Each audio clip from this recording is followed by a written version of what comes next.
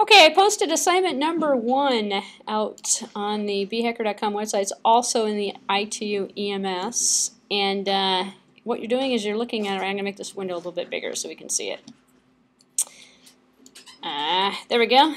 Uh, so this is for the Object-Oriented Programming in Objective-C course, and it is assignment number one I'd like to go over. Uh, next, uh, today we're going to digress back to C and because uh, some people want to hear stuff on pointers and basic C, which is going to help you with Objective-C actually in the end, because Objective-C is an extension of C. And if you don't not familiar with C, and Java is the only language you've ever seen, there's a lot of differences. So I think it's worth the digress backwards for a day. But anyway, long story short, um, in terms of the concept, we uh, are looking at assignment number one, and I'm going to start actually sort of building it in class starting on Wednesday. Uh, you're supposed to do both parts. It is in two parts. So the assignment is actually quite easy. Part number one is about conditional logic. So conditional logic is used within the program to make decisions, you know, if this, then this, case switches, all sorts of different ways of routing through the program. So um, in terms of the concept, that's what's meant by conditional logic.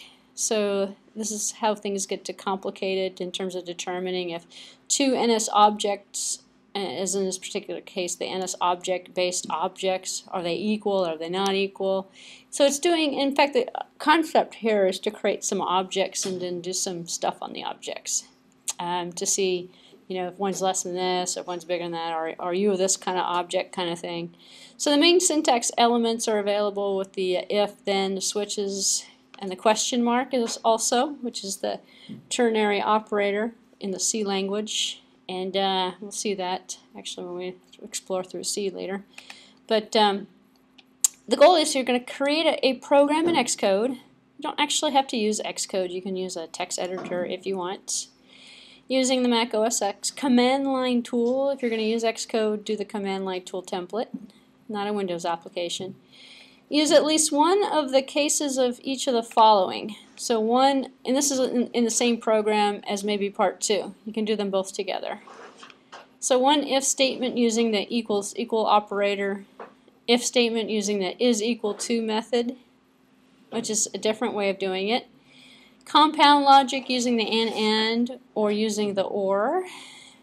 Um, perform logical tests to see if something is not true. So it's basically to give you some exposure, and this is a very easy kind of exercise, can be done in almost any language, but you need to do it in Objective-C. And uh, the purpose is to give you exposure with the control logic, because the control logic is something that um, varies a little bit in terms of the NS object checks, so we'll see how that works, and that's done a lot in the program. The second part is involving methods and parameters. So methods are functions that are defined within a class, as we know from the Java course. It's the same concept. So uh, sometimes we have, uh, those are invoked by invariables and properties of objects, and sometimes those are required extra information like uh, parameters, properties to be sent to classes, uh, to methods. Extra information can be passed to the method through parameters. So think of messages and message passing and parameters. So you're going to create possibly another command line template, or you can use the same one excuse me, you can put part one and part two all in the same program, or you can create two separate programs. Doesn't really matter how you want. It. For me, pers personally, I'd put them both together if I were doing it. So you can use the same project that was created in the first part. Create a custom class that contains at least three public methods and one private method. From the main method in main.m, because we want you, I want you to follow proper standards, so you go main.m and then you have person.m or something else.m. And hopefully you have a .h that goes along with the .m. Yeah, so you have this the set of the implementation and then also the interface. And uh, make an instance of the class and demonstrate the calling of the methods. So you could possibly combine, actually it's, it's real easy to combine them both because if you combined both parts, part one and part two together, you create a bunch of objects, you run the methods, and you put them in a loop. or you go if this and that, if this and that, you know, kind of just work through it that way. Um, what happened to my, oh, they're over there, okay.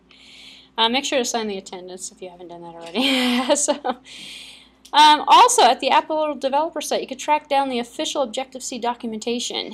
If you click on this, oh, this was a link here. It is a link. Uh, if I control click, see if this works. It'll take me to the website. It looks like it's preparing to load on the bottom. It might actually be going to this website. Um, the Apple, here it is. I'd like to show you this resource actually. On the iOS Developer Library website. Um, interesting. Probably looks better on an a. Uh, I have it in a Windows partition. Probably looks better if I select yes on loading the content. Well, let's do this. If I load it on a MacBook, it probably is going to load better.